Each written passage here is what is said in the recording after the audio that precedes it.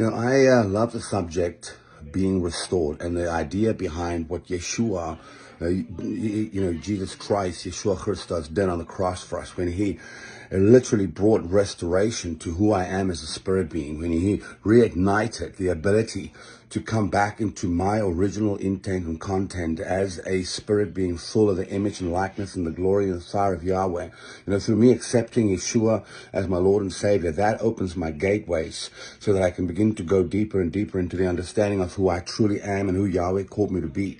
You know, it is the understanding that when the cross brings restoration to me, I stand taller. I begin to believe things differently. I begin to ignite in the fire of who the Father is. You know, the Bible tells us that he is a consuming fire. But in the same breath, I get to see him, perceive him, and, and walk with him in a way I never thought I could.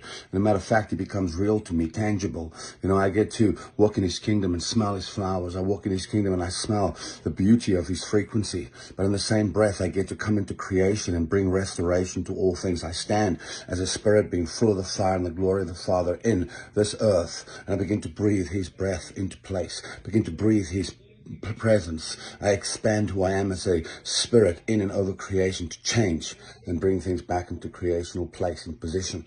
And I want you to begin to learn with the passion that Yahweh has given us to do the same thing. It is deep, it is high, it is wide. Our God is incredible.